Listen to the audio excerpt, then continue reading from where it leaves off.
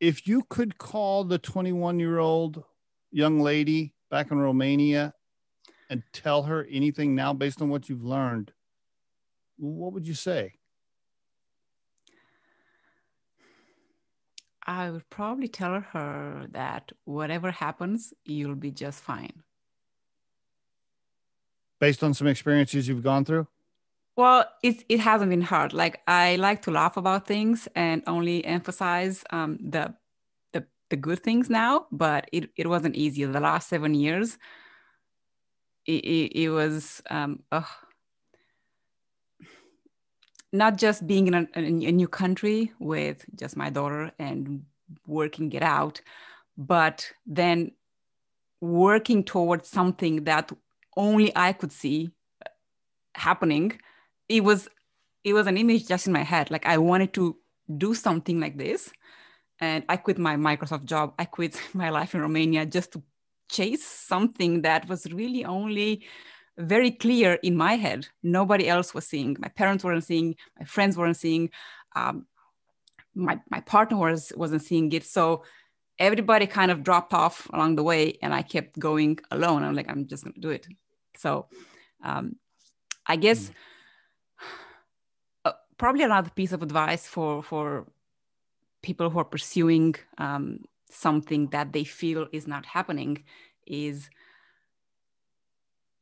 we are not we don't deserve the things yet so we we, we need to build the skill set the experience and go through the whole process to actually deserve the life that we want to have mm. have the business that we have um, have the family that we have we just don't deserve it we always look uh, and find excuses around not having it um, but you know the, the easiest person to fool is usually ourselves we just keep mm. on telling ourselves these um, these stories that i can't do it it's not it's not going to happen it's not happening but we really haven't earned the right to have the life that we want to have mm. until mm. we have mm. i hope that makes a, sense that's a good message liz no it's yeah it's great that's really great stuff well, do you want to was there was there a few dark moments in there where you're you're laying in bed at night saying to yourself, "What the hell am I doing? This I'm not sure this is going to work." You're waking up at 3 a.m. in the morning and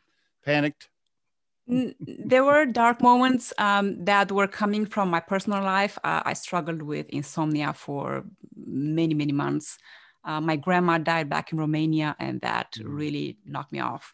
So mm. I struggled in terms of physical, like my my body just couldn't handle all mm. the stuff, mm. but not in terms of um, business failure because I kept failing at stuff. and the second I failed, I had the next uh, idea, the next best thing in my mind and already rolling with it. Mm, I love that part about you quitting the Microsoft job. I can just almost visualize you know, you, you, people weren't believing, right? You, your your your folks are doubting you. Your friend at the coffee shop is telling is saying, "What the hell are you doing? Why are you quitting the Microsoft job? You shouldn't do that." And you're, you know, you're, and that you're just... that had been actually probably my my biggest accomplishment in terms of um, my career, because mm. when I decided to go into the Microsoft space, everybody was telling me there is no way. excuse me, there is no way you're gonna get in you don't have the experience and you have no certifications and there's no way you're going to get into this space. And you got it. You got it. well, you as a recruiter might appreciate how I got it. oh, um, tell me, tell me. I think I spent about a month DMing on LinkedIn every single Microsoft partner, um, companies that do use Microsoft products. And I had this like speech where I was telling like, this is what I've done. I've worked with ERP systems before. Um, I will work for free. Just give me a chance. Wow. Wow. And like after I don't know how many hundred messages, um, this guy from from from Sydney, David, my my former boss, gets back to me and he's like, "Can you do this?" And he sends me a link with a new system Microsoft had just released. So I had a look at it. I had a look at the release date. I'm like, well, nobody really knows how to do this. So yeah, I'll do it. so, so good.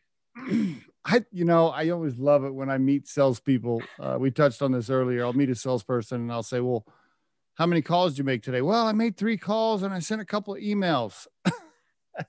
yeah. you know, you this is not even close, right? What another great lesson for the listeners. DMing DMing people for a month to get into Microsoft. Wow, that's a good story. I like that. I like that. Yeah, you know, like uh, Grant Cardone does say in one of his courses, you have to be unreasonable. Unreasonable. You heard that right. when you follow up, when you prospect, just be unreasonable. be unreasonable. I love it. No, that's so good. That's so good. Last question. I know we're almost out of time.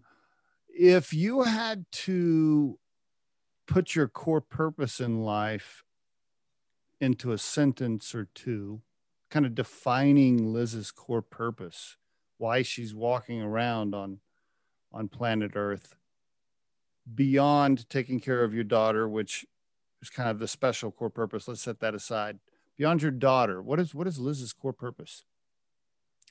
Freedom. I I cannot stand not being free or being told what to do.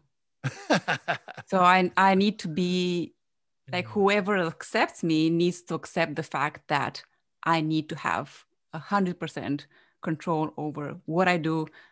I need to be free, not. I, and I think this.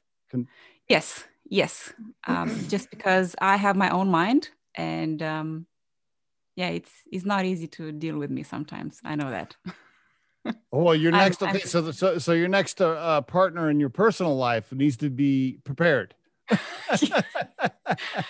yes, he needs to be prepared that's uh, probably one of the aspects that doesn't hasn't really worked out. Um, well, something's something's got to give, right?